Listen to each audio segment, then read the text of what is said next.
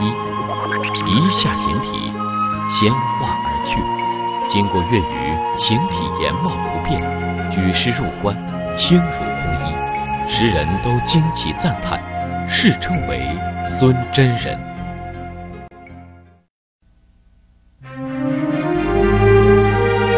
生命电视向您问好。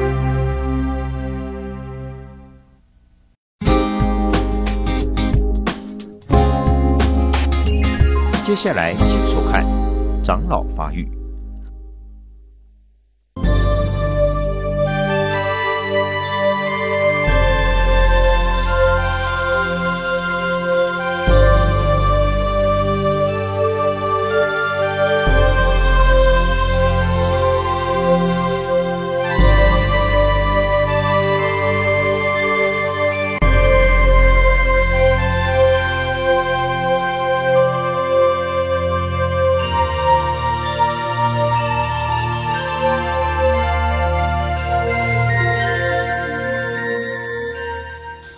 各位善知识，《法华经》现在讲的是药草玉瓶，经文在第一百三十八页，第一百三十八页，呃，这里讲的是药草玉瓶啊，呃，这个科判里面广速成有长文。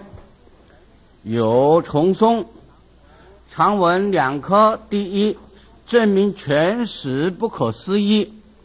呃，现在讲的这个证明全实不可思议啊，有法说，有利比，有法和。现在是讲到第三段法和。呃，法和里面有两段文。第一，和无差而差。没有差别当中，呃，以众生的根性说，有种种的差别，这个道理上次讲过了。现在是讲的第二段，和差而无差。虽然在众生的各种不同的根性当中有千差万别，但是究竟同归一圣，究竟是。呃，同证诸法实相，啊，与众生的离体没有差别，与佛佛所亲证的境界没有差别，啊，所以这里是说的，虽然有差别，而有差别当中就显示没有差别的道理，也有两段，第一是正合，第二解释，正合。是正把比喻呀提来提叠合这个法义的道理，呃，正合。这里有两段：第一，和一地所生，一语所论，啊，先和一切都是一地所生，一语所论，就是一相一味。那么上次是讲到第一百三十八页的。呃，如其种性具足蒙润，各得生长，这是在第五行，啊，那么这是在前面的第一课的文字，这里第二，呃，就是和差而无差的这个第一段文，一地所生，一一语所润，啊，经文说，如来说法，一向。一味，所谓解脱相、理相、灭相，究竟至于一切种子。这一段文呢，就是和一地所生、一语所润。啊，前面的比方当中所说的，呃。所有的三草二木，通通都是同一个大地生成，啊，三草二木有差别，啊，受润有差别，那么一地同样能生长一些，地没有差别，啊，能滋润的水分语也没有差别，所以把这个众生的差别相会合归于一时，同样没有差别。嗯，那么站在佛这边说，如来说法，如来就是佛了。佛所说的法，站在佛的立场看，佛没有分别，没有差别，平等啊，一味为众生说法，啊，所以佛说法是一相，是一味儿，嗯，什么叫做一相呢？同一实相，啊，佛所证的。就是这一实相，诸法实相的本体。啊，众生在迷迷失的也是这一实相，没有别法。啊。呃，在迷实相的离体真如自性，并没有减少一丝毫。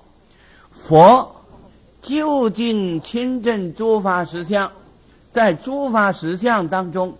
也没有增加一丝毫啊，所以从来真是妄，今日妄皆真，成佛了，法法皆真，没有一法不是真。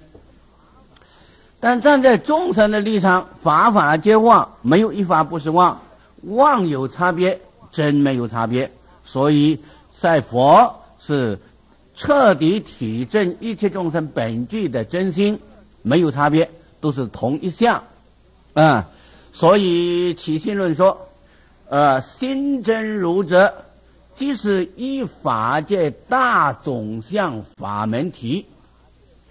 这个真如自性就是一真法界的大总相法门体，这个总相就是显示同一实相，这个实相离体人人本具，个个不无。佛所证的就是这个，众生迷的也是这个，所以是同一相。呃，众生在迷，所以有差别；而在佛呢，是一相的，是没有差别。啊，因为同一圣法，嗯，同一圣法牵显啊诸法的理性，同一真理，啊，一相和一地所生，一味。和一雨所生，嗯，那么同样是一个雨水的滋润呢，使一切众生三草二木同的滋润，那么能润的这个雨水呀是没有差别的，嗯，所以叫做一味儿，呃，那么再往下，所谓以下呀，就是解释这个一相一微，啊，所谓解脱相。离相、灭相，究竟质疑一切种子，这就是解释那个一相一微。什么叫做一相一微啊？这个一相就是解脱相，就是离相，就是灭相，这是解释那个一相。究竟质疑一切种子。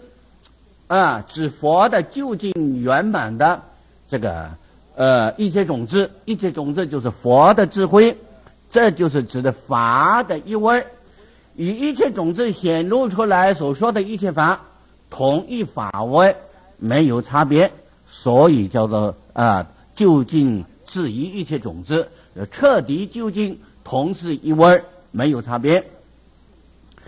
这个道理，《大般若经》里面，啊。也有这种的说法，啊，那么《大般若经》第五百七十五卷里面说，佛对文殊菩萨说：“满书势力，满书势力就是文殊势力啊，如我所说种种法门，皆同一味，为远离味、解脱味、极灭味，无所乖为，啊。”佛对文殊菩萨说：“我所说的一切法法门虽然很多，种种法门，八万四千法门，法门虽然很多啊，这些法门呢是同一个法位的，同一个法位，是皆同一位，没有差别嗯，那么同一个法位是什么位啊？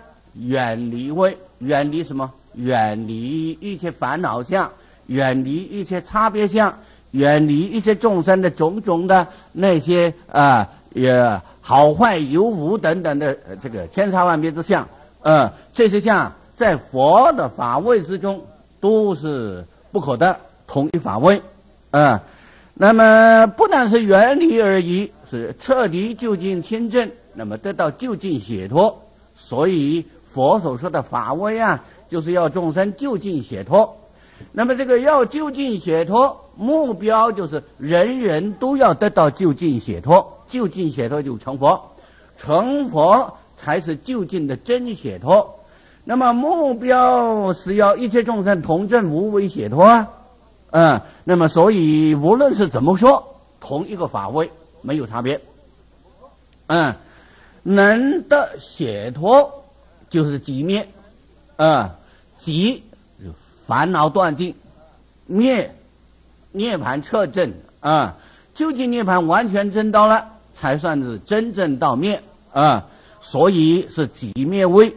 那么无论这些种种法门呢，怎么样说，横说竖说啊，各种说法啊，总是趋向于同一个法位。那么同是远离位，同是解脱位。同是寂灭位，所以以这些法位呀，啊，无论怎么样说，都无相乖违，不会啊有所乖违。乖是不这个相违背啊，乖就是背啊，违是相违。意思就是说，佛无论怎么样的说法，啊，也用什么方法来显示这个法门，但是他的目标都是趋向在这个目标里啊。不会远离这个，不不会离开这些啊一向一味的真真理啊。那么因此啊，呃，所谓一向就是同一解脱相。这个解脱相啊，正是对前面信解品，呃，四大弟子所说的，他们当初啊，只是啊，在这个空无相。无座的三解脱门里面啊，成空至极啊，那么得少为足，不想再往上进啊。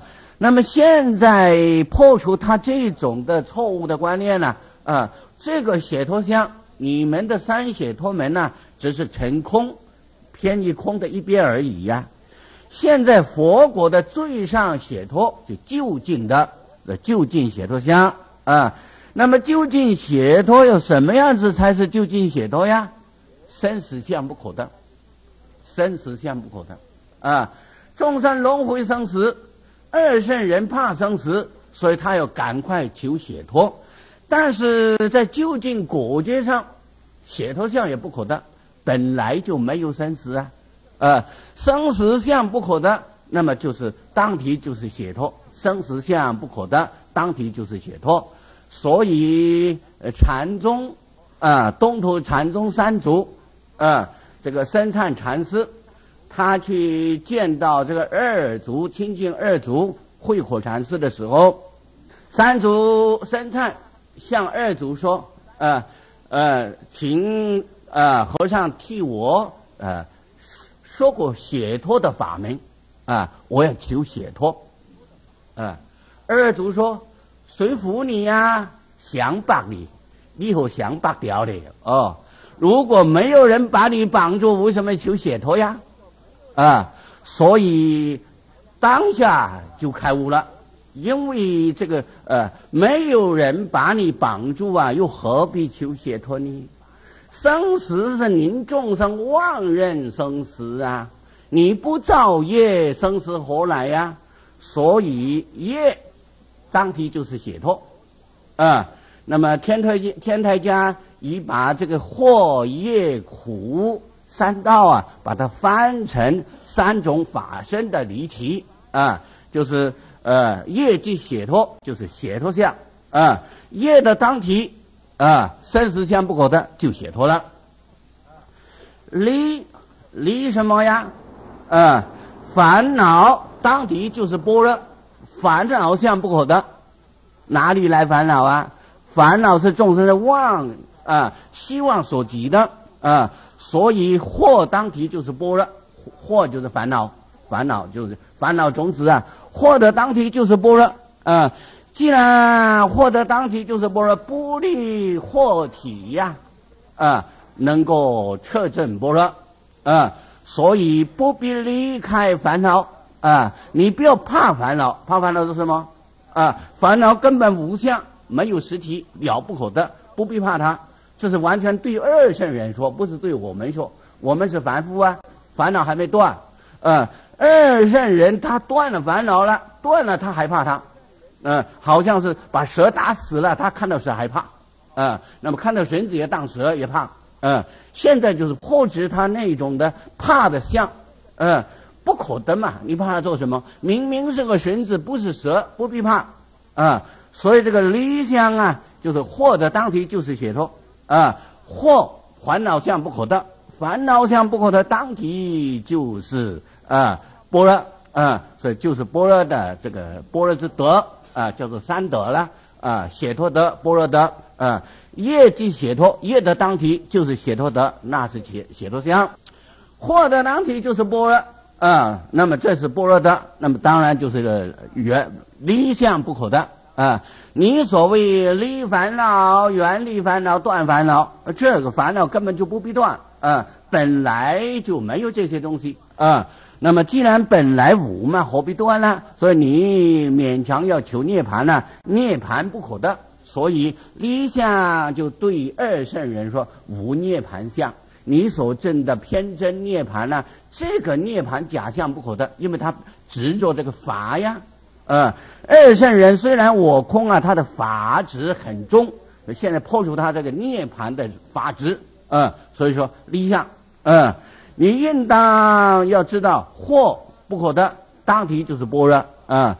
获得当体就是般若，那你要求证涅盘，涅盘相也不可得啊。如果知道般若啊，般若如大火区，四边皆不着，皆不可着啊，着着被烧。这个般若就像一个大火，啊，很烈的大火，啊。前后左右都不可接触，接触到必定要被烧，啊，那么就是说烦恼在般若中啊不可得，啊，在烦恼呃在般若里面没有烦恼可得，这或当体就是解脱。那么你懂得这个道理，翻过来你般若如清凉池，啊，四边皆可入，入则清凉，懂得这个道理。般若当体就是清凉池，哎，您这个清凉池前后左右东西南北四个方向都可以进来，进来就得到清凉啊！这不要怕烧，呃，烦恼烧尽了就得清凉啊！那么你明白这个道理呀？理想当体或就是般若，面相，第三的面相，面什么？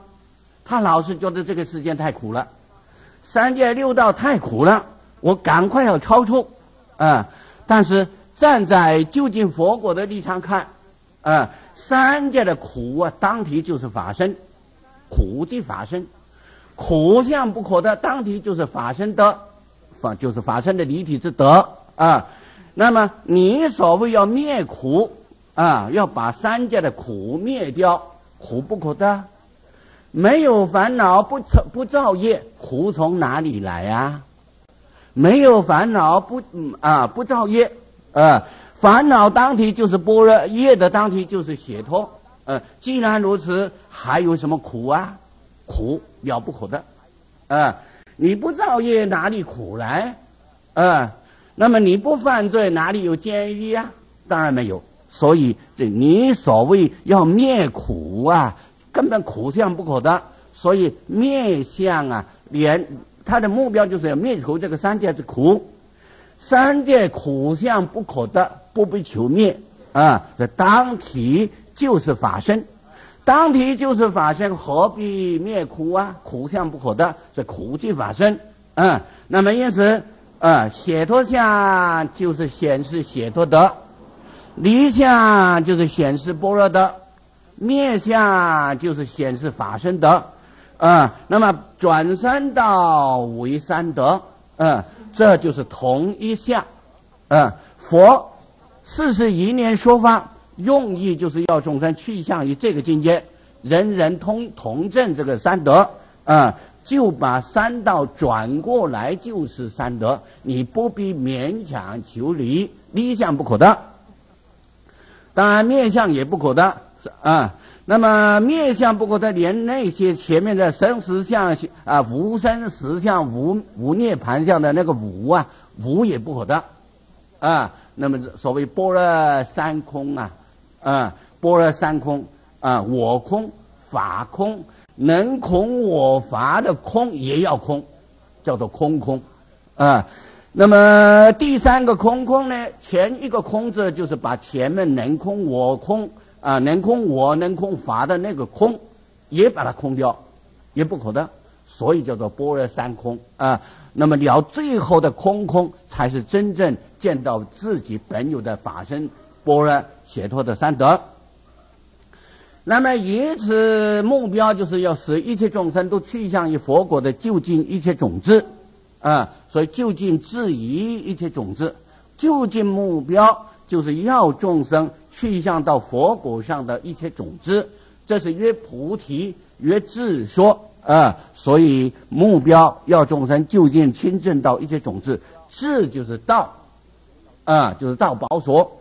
那么前面所说的许多法，用意就是要众生去向于宝所啊，这是同样是无上提福的法位。啊，都是无上提福，前面没有开显呢，啊，那么就是五味俨染了，华严、卤味，啊，欧寒、乐味，啊，方等生疏味，般若熟疏味，俨然有四味的分别。现在到了法华会上，通通都是会归提福，啊。鲁的当提就是提福，乐的当提也是提福，生疏熟疏当体就是提福，所以都是无上提福位，因此啊，同一法位并没有差别啊，所以这个叫做一位，就是以就近之一一切种子啊来解释那个一位啊，同一法位去向于一切种子。那么明白这个道理之后啊，就可以。了知前面所说的一地所生，啊，一语所润，它的用意啊，就是使众生同证这个诸法实相。再往下，第二和草木各有差别，嗯，站在佛这边是没有差别的，但是在众生啊有差别，嗯，就呃。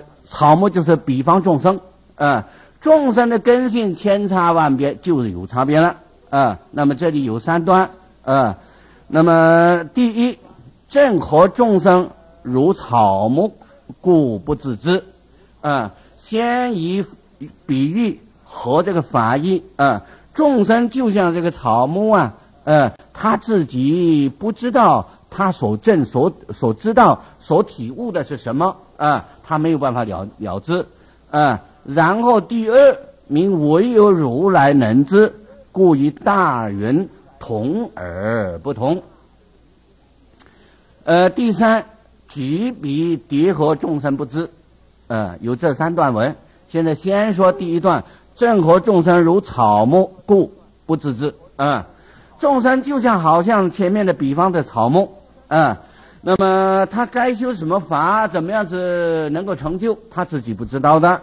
所以经文说：“其有众生闻如来法，若持、读、诵、如说修行，所得功德不自觉知。”这就是和三草二木啊，呃，他的众生好像草木，虽然滋润呐。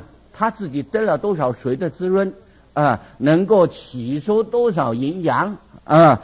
呃，他能够开多大的花，结多大的果？呃，他自己都不知道的。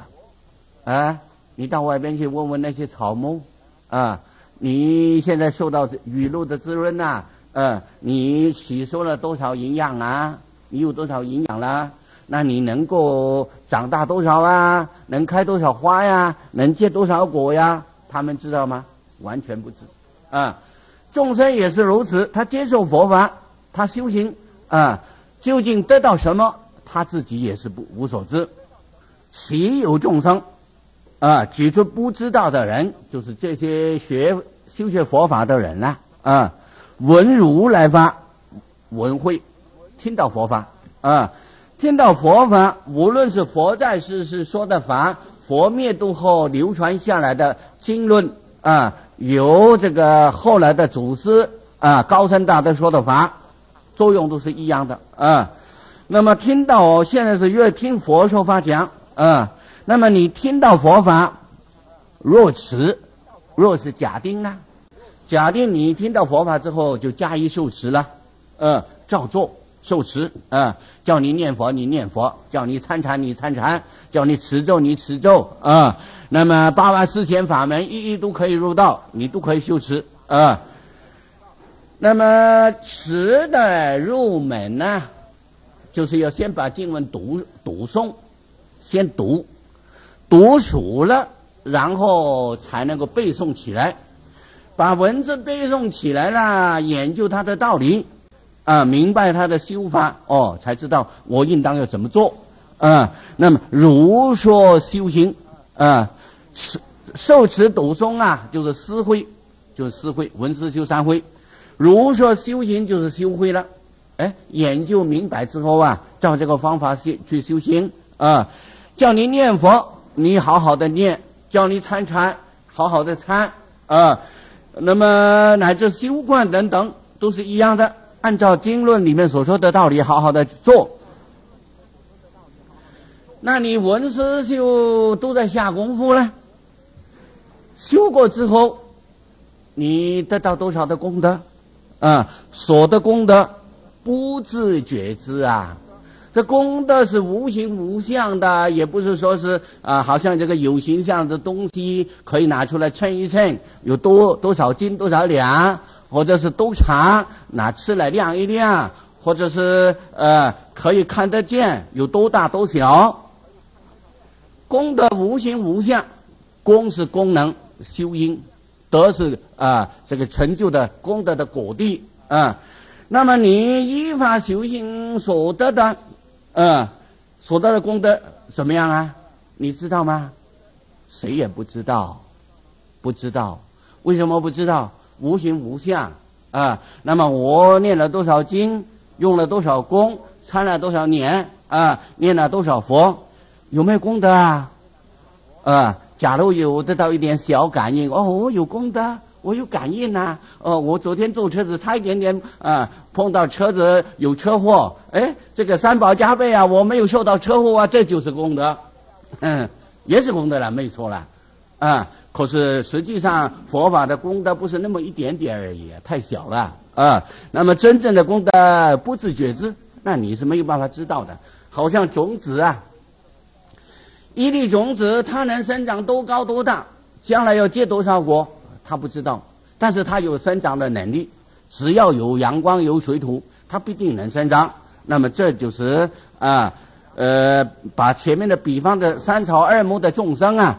他自己修行学佛修行不知道了啊，所以你不要以为啊，我学了一辈子修了几十年，好像没有什么感应的啊，我从来不曾见过佛，菩萨也没来跟我讲话啊，他也没有来说跟我说，哎，呃，某某人，你呀修多少功德啦？你现在的地位到什么啦？是初地呀，二地、三地呀？哦，没有听过这个话。那么修了几十年，好像还是那个老样子。好像我学佛学了这么几十年，都没有得到什么利益嘛？这个不能拿出来看的，哪里有什么办法了之啊？那么我们凡夫不能知，没有办法知道。但不知道不是没有啊，功不唐卷呐，啊，修的功德绝对不会虚费啊，不会没有啊，也必定要好好的下功夫。这就是一方面可以加强。学佛的人的道心啊，也是一一针强心剂哦。呃，自修的功德不能自己不能知道，不能知道不是没有啊，啊，就是因为太多了，你没有办法知道啊，啊，那么必定要加强你的信心，好好的下功夫，将来的成就必定是很大的啊。那么这是第一，呃，和三草二木啊，呃，所有修行啊，自己不自觉知。第二，名唯有如来能知啊。故与大圆同而不同，嗯，那么众生修行他自己不不知，谁知啊？佛知道，只有佛才能知道啊。唯有如来，如来就是佛啦啊。你修的功德有多大，只有佛才知道啊。那么这个这个云大呃大云呐啊，雨要降下来之前的这个云啊，跟雨呀看起来好像相同。啊，实际上有不同，因为云能够下雨，但是云的当体不是雨，同而不同，啊，那显示这个同中有不同的道理。那么只有佛才彻底众生的根心啊，啊，怎么样修，怎么样的成就，啊，接下去所以者何以下就是解释这个道理。所以者何？唯有如来支持众生种。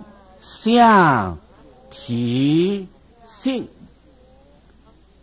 这四个字，每一个字都是一个一个道理啊，应当是也要顿下来啊。念何事？思何事？修何事？缘何念？缘何思？缘何修？依何法念？依何法修？呃，依合法思，依合法修，依合法的合法，众生注意种种种种之地，唯有如来如实见之，明了无碍。这就是说明啊，只有佛才知道啊，众生所修的成就啊。那么看起来好像云跟雨要差不多，实际上是圆是圆，鱼是鱼，所以同而其中有不同。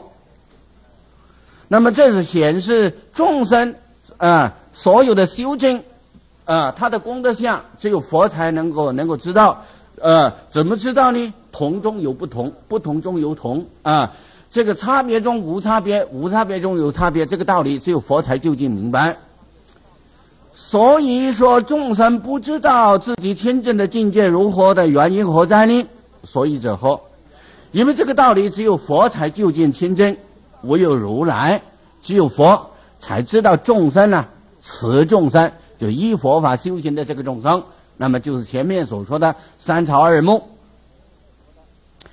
每一个众生的种、相、体、性这四法。只有佛才彻底知道，种是什么呢？过去的因种，过去的修因啊，这个种子种在他的八十田中啊。究竟众生的心地的种子有那些种子？只有佛眼才能见，佛才知道啊。过去的因种，也是过去多生修行学佛，或者是所经过的其呃历程当中啊。所熏习下来的种种子，那么八十田中的种子有有漏有无漏，有漏当中有善有恶有不动啊，无漏种子也有三生的种子。那么众生心地当中所有的种子啊，所熏习进去的种子啊，只有佛才彻底知道。所以佛眼一见就知道这个众生他的过去的呃种子因种是怎么样。该说佛法呀，来滋润它啊，使它这个善种、无漏的种子增长啊，恶种使它啊慢慢消失。过去因中，相现在心相，现在他心地里所想的是什么啊？那么呃，这是约内心讲，有的地方解释说，相就是他现在受报的果相。这个果相有好有坏，有善有恶，有美有丑啊。每一个人的相貌都不一样啊。他为什么会有这些不不一样的相貌？有他过去的因种结成的现在的果地啊。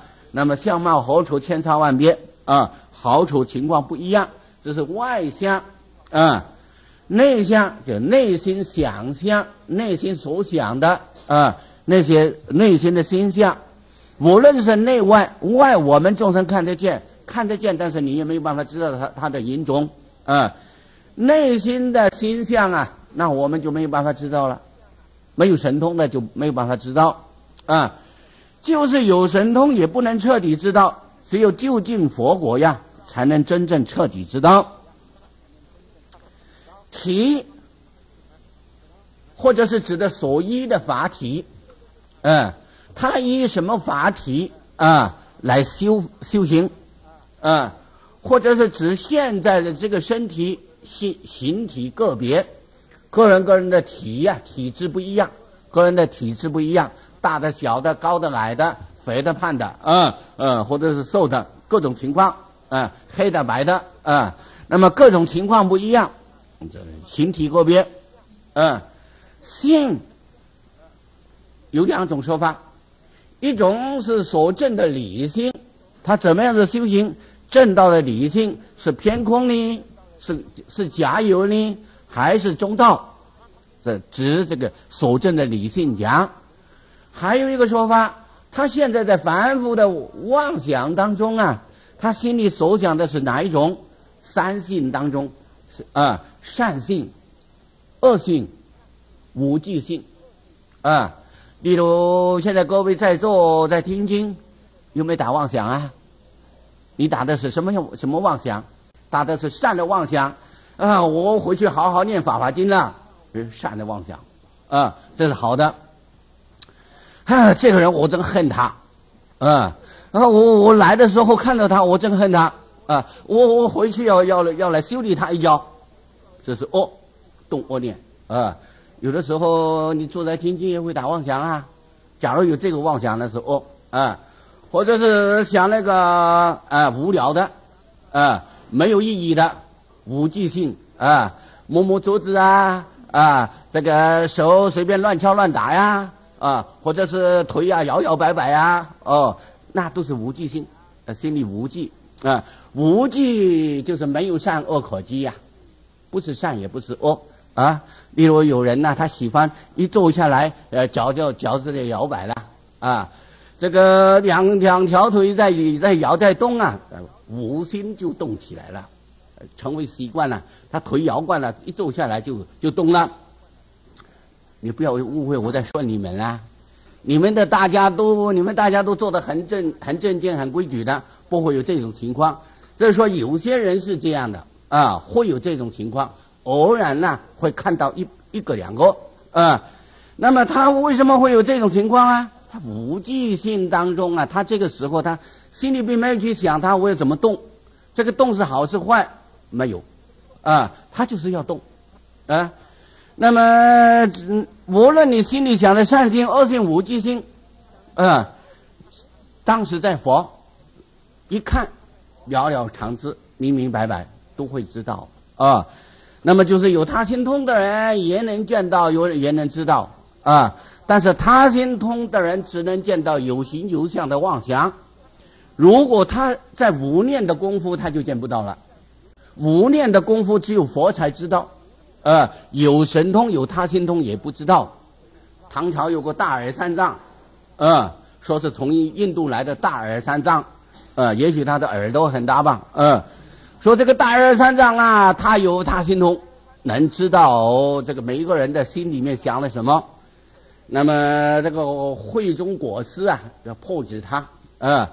那么慧中果师出来了，就问这个大二三藏说：“哎，你看看我现在心里想什么？”哎，他一一看呢，知道了。哎，你是一位大有堂堂的果师啊，你怎么在那里看人家玩猴猴子戏呀？啊？他说：“天津桥上看人家在玩猴子戏，啊，那么他就打妄想啊，心里一想，我到天津桥上看人家在玩猴子戏，哎，他一看这个形象就现前了，呃，你心里动念都会有相，都会有相，呃，我们没有神通，不知道。呃，你现在心里动什么念头？他有神通的人一看就知道。哦，你现在心里在想什么啊？呃，啊你一堂堂国师啊，怎么可能在看人家玩猴子戏呀？哎哎，可见他呃，这个游相的他知道啊。那么游相的闲过几次之后，最后啊，慧中国师就入这个无无念的法门了，不动念，心里不动念。这个时候不动念的时候，就问他：哎，你看我现在我的心在哪里啊？嗯，这个时候他不知道了，无相。无无念呢？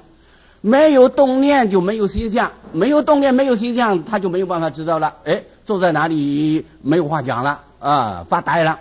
这个时候慧中国师就呵着他，这耶福经，呃，何来他心通啊？你这个他心通在哪里呀？啊，我不动念你就不知道，可见他的他心通只是知道有相而不知道无相，这个不是究竟，这就是还没有得到无漏啊。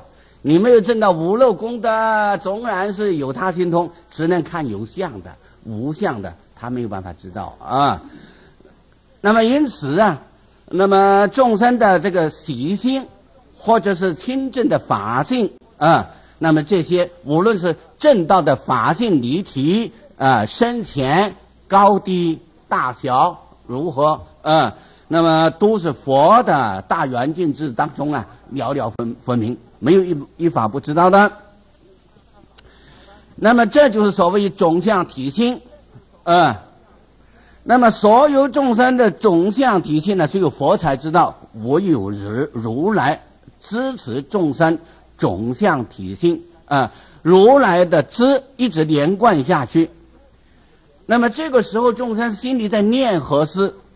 思何事？啊，修何事？他心里想什么？念啊，是别境心所之一啊，五十一心所法当中，呃，变形无啊，别境无啊，欲圣洁念定慧的五种别境心所，念就是他心里在动念啊，他念什么？要修什么法门？啊，念何是何？就指究竟他所念的是什么啊？什么事啊？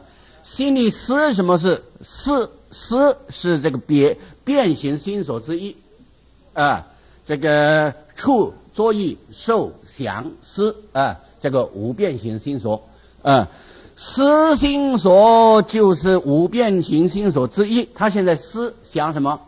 这个思维呀，可以思为三界，变异三界，所以属于变形。修和思思了之后修啊啊。研究明白了就修，他现在在修什么？念佛、参禅、本来面目、修止观，或者是南无哈拉他那哦。那么在佛的心相里面完全明白，啊，云何念，云何怎么样？啊，要怎么样子念？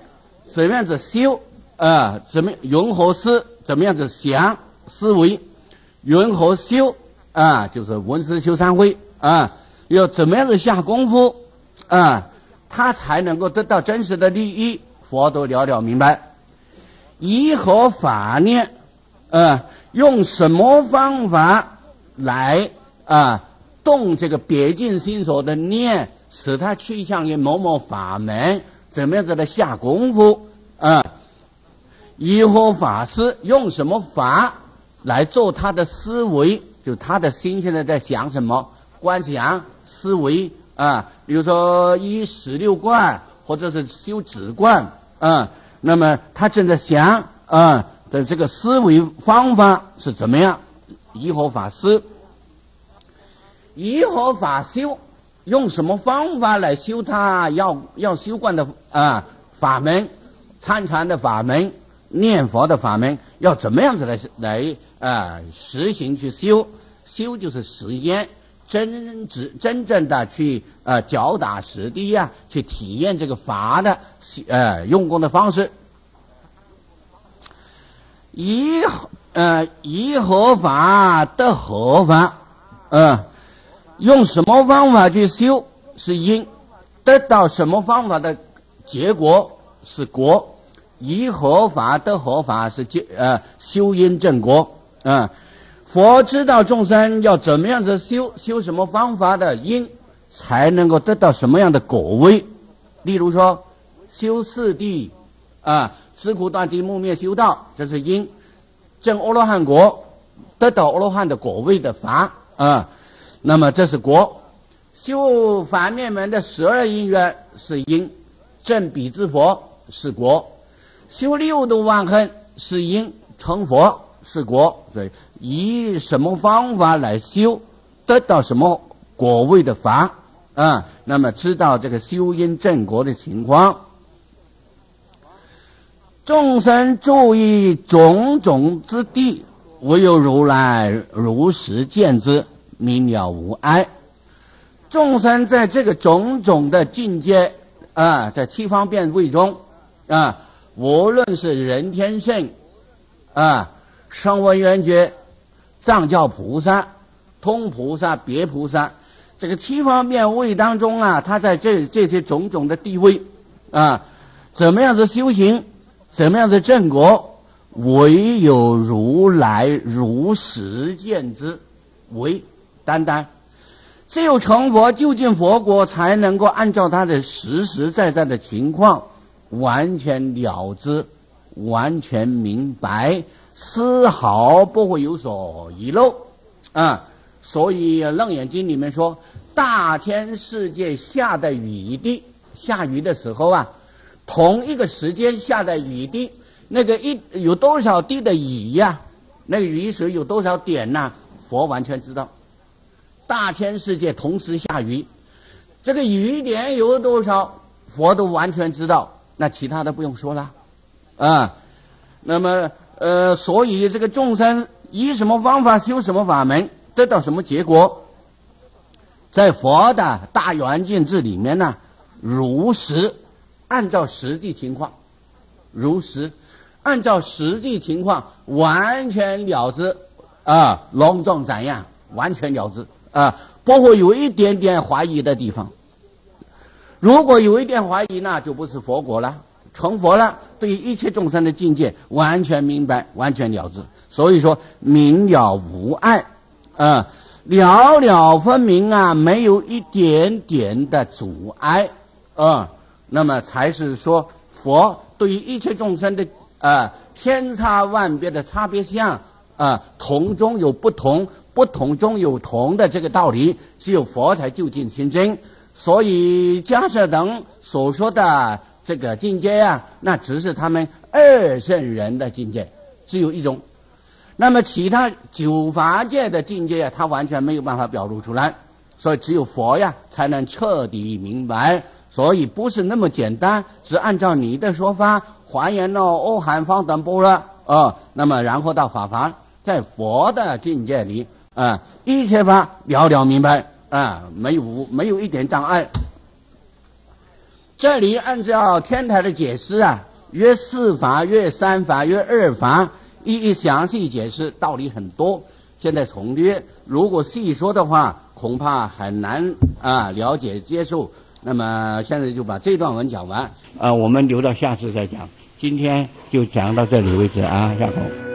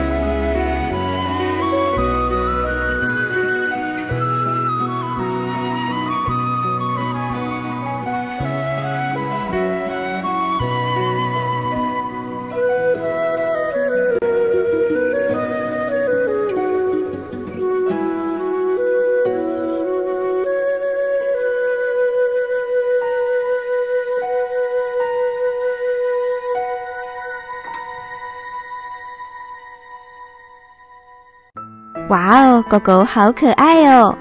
但是没有主人的狗狗希望有人爱。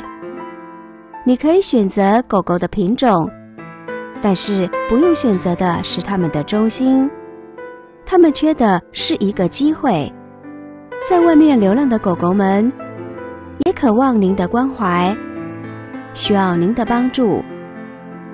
台湾救狗协会邀您一起护持、救护、养护流浪狗。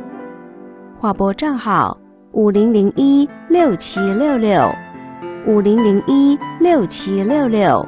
户名：台湾救狗协会。最美好的时光。十六岁的鲁特是一只黄金猎犬，来自德克萨斯州救援队。曾经参加过九一一和其他无数次的救援行动，受到许多警卫人员的尊敬和喜爱。但最近，鲁特被病痛折磨，已经快要走到生命的尽头。鲁特的情况怎么样了？唉，他的状况非常糟糕，应该剩下没有多少时间了。明天呀，就是鲁特的生日了。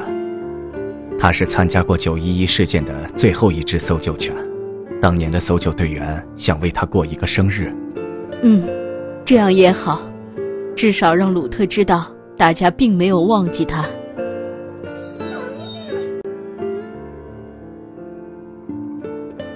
鲁特，我的老朋友，当初我们并肩战斗的时候，你只有两岁，那时候你是多么的强壮啊！是啊。当年和我们一起战斗的搜救犬，只剩下你了，鲁特。克里斯，你一定要多陪陪他。当然了，最近他非常焦虑。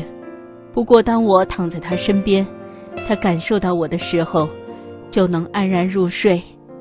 这些日子，我都陪他一起睡觉的。是啊，他还是非常依恋你啊。我还清楚的记得九一一那年。你们俩奋斗的身影。这里有幸存者，鲁特又发现一位幸存者。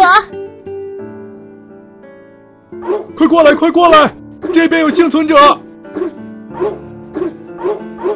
鲁特，休息一下吧，你太累了。鲁特真厉害，你已经救出了多名幸存人员了，谢谢你。你真棒的，该休息一下了。生日快乐，鲁特。很高兴我能和你一起努力过。你们看，他还记得我呢。当然了，鲁特的记忆非常好，过去发生的每一件事情他都记得的。是吗？你看他今天看起来很开心。我想他一定是回想起曾经一起奋斗的岁月了。是啊，他已经好久没表现的这么兴奋了。我想鲁特很怀念曾经和你一起工作的时光。不如我们在他最后的时光里，带他重温一下过去。好啊，这个主意真不错。我来为鲁特列一下愿望清单，接下来我们就依照这个清单带他去回味一下。嗯，我们先去当地的小学吧。鲁特曾在那里陪伴过小朋友，而且还帮助过许多患有自闭症的儿童。嗯。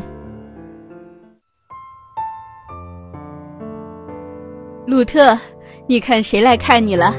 鲁特，你还记得我吗？我是露丝。哇，看来鲁特还记得露丝呢。鲁特，我真的好想你哦，很感谢你曾经帮过我的一切。你看，露丝她一直都是这样子，不愿意和别人说话。我听说，经过训练的狗狗可以帮助像露丝这样的孩子从自己的世界里走出来。所以我才寻求你们的帮助。我不知道鲁特能不能做到，我们只能尽力试试吧。鲁特，你过去关心露丝一下。嗯，嗯，哦，你好可爱哦！天啊，这怎么可能？露丝跟他说话了。嗯，看来露丝在心里已经接纳了鲁特。鲁特，你是我最好的朋友。听说你最近身体不怎么好，不过我相信你一定会好起来的，就像我一样。你看我现在不是就好了吗？听说你要来看我，我准备了好多礼物要给你呢。你看，这是你最喜欢吃的披萨，我给你订了一份最大的。这个小球你还记得吧？以前你经常和我一起玩小球。这是你和我都最喜欢的游戏，这个小球我一直留着，现在我将它送给你。你现在身体不好，玩不了小球的，等你身体好了以后，我再陪你玩。鲁特，你看，这是我，这个呢就是你，这些画都是你离开我家后画的。每次我想你的时候，我就会把我们俩在一起。度过的日子画出来。当年患有自闭症的露丝，现在竟然变得这么开朗。是啊，所以事隔几年后，露丝看到鲁特，就像是见到了多年不见的好友一样，一下就扑了过来。接下来的几天，鲁特去了好多自己曾经工作的地方，也见了许多人，有他帮助过的孩子，有被他救助过的幸存者。也有很多喜爱他的纽约市民。鲁特，你感觉好点了吗？鲁特的病情已经非常严重了。刚才兽医说了，他的肾脏已经衰竭了，他会在痛苦中死去。在痛苦中死去？怎么会这样？这对于鲁特来说实在是太残忍了。刚才兽医说了，现在对鲁特最好的办法就是安然而逝。让他尽早的从病痛中解脱出来。是啊，现在我们也只能用这种方式来帮助他了。是到了跟他说再见的时候了。鲁特是九一一事件中最后的一只搜救犬，多年前还获得美国人道协会颁发的年度狗英雄奖。他参加了无数救援行动，帮助过许许多多的人。毫无疑问，鲁特是一位真正的英雄，是人类的好伙伴。谢谢您，鲁特，一路好走。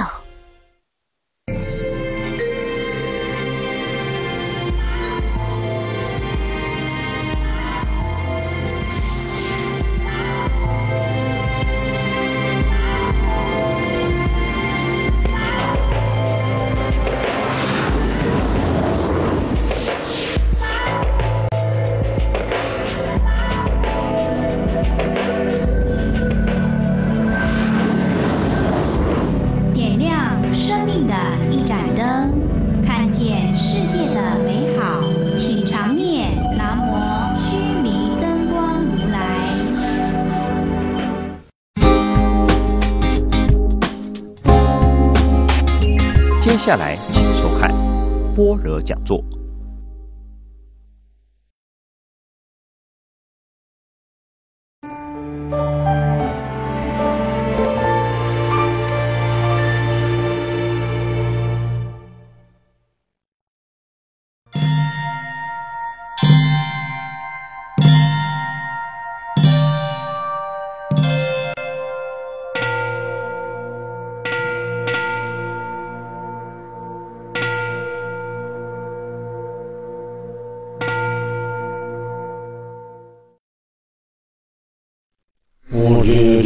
接着香山斑马给山东报啊，永城做红中米斑马中日西色的。过程当中，蒙古国地区汽车导致去寻迹老者少数从个斑马色的红中和长别当这不能在经过日上你有这边的。这情况就老做老做乱的出寻迹路线往上外只上百人的八通传统的蒙古走的人和长别当这不能在经过日上你有这边的这情况就老做。苏拉提出寻迹路线往上外只上上百人的八通。